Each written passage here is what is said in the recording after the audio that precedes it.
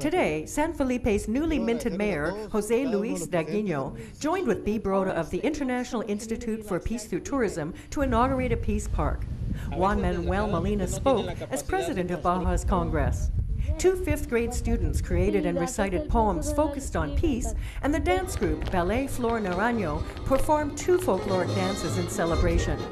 Because it is indigenous to this area, a name tree was planted beside a dedication plaque, and involved citizens joined in on what was also San Felipe's 97th birthday.